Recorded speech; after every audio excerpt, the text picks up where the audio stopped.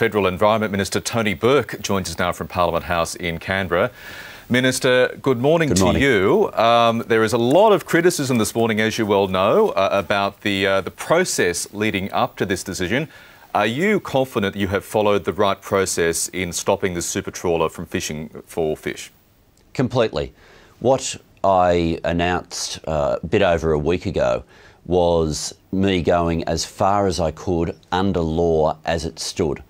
Uh, and I didn't want to contemplate changes to the law until I'd worked out with my department how far I could go under current law. That fell short of answering all the questions that I wanted answered. And at, the, at that moment, I started talking to my department about if we were to change the law, what sort of changes would we be able to do? And that's what I've announced yesterday. And this is despite, of course, the advice from the relevant authority here, the Australian Maritime uh, Fishers, Fishing Maritime Authority, which said that uh, based on its advice and its studies, its uh, I assume detailed scientific studies, there'd be no adverse impact of this super trawler operating in deeper waters. Well, let's not forget when that work was done, a vessel of this nature was not in contemplation. The scientific work that was done uh, was quite some years ago, and the basis of it uh, was on very different sorts of vessels. You rarely have a situation where you have something as new and as different as this vessel is and have to you know, work out do you have enough information in front of you. The process that I've proposed to the Parliament is entirely a science based process.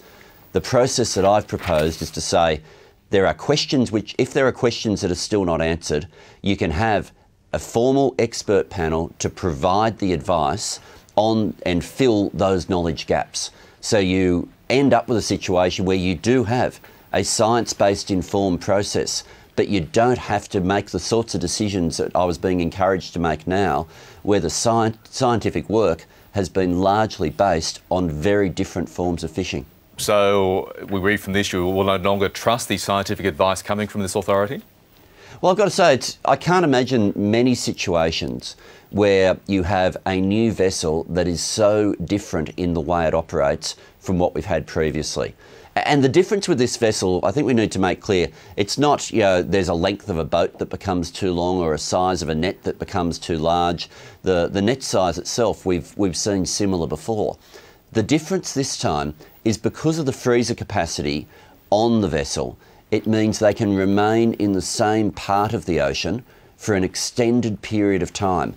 Now, the scientific work has been done that says that's not a problem for the fish they're trying to catch.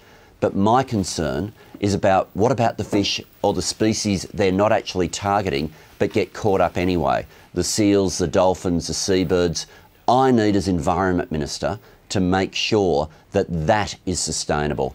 And that's the additional work which I wasn't able to get sufficient answers to, and which this additional process would fill those knowledge gaps. It could be argued, Minister, you've been sleeping on the job, therefore. The government has known for a long time, up to years, this super trawler was heading to Australia. It had already got other regulatory approvals. Why wait until now, just as it was going out to trawl for fish, to make this decision to keep it in dock? Look, there's a, a, large range of companies that talk to government over extended period of times. Some end up coming here, some don't. It hasn't been that long that we've had no doubt that this vessel was coming. Once it came to my attention, I asked my department to give me the advice on how far I could go under current law. Uh, that advice I signed off on the same day that I appeared on Q&A last week, and I went to the limits of what I could do under current law. It still didn't answer all the questions that I had, and that's why I've recommended that we go the extra step. Whether it gets through the Parliament or not, I don't know. We're still waiting to see what Tony Abbott's position is on this. Yeah, and uh, well, we, we have, let, us keep Tony Abbott to one side. We have people like Rob Oakeshott already, one of the key independents, saying that he's likely, or indicating that he's likely not to support it. Uh, are you uh, confident at all this legislation will make it through the House in the very first instance? I don't take anyone's vote for granted on this.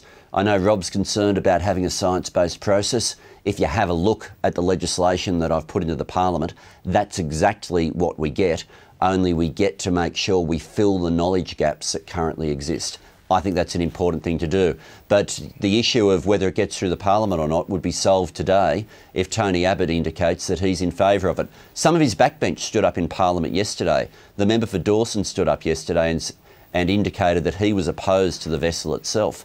So I'm not sure how he would then turn around and vote against the bill, but let's see what they say. Okay, finally, Minister, just let's clear up some confusion this morning about uh, which party made this decision. Uh, the Greens this morning have gone to Facebook with this picture, and if you can't see it, I'll, I'll read it to you. It's a picture of the super trawler with the very bold word superimposed, we stopped it.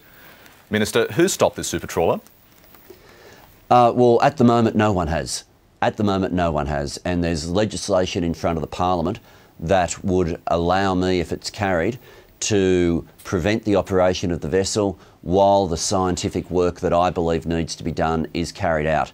But until that moment, let's face it, no one has, and it's in the hands of every member of Parliament as to whether or not this vessel is fishing in our waters in the next few months without the scientific work that I believe needs to be done. And just quickly, done. what do you think of the Greens claiming credit for this?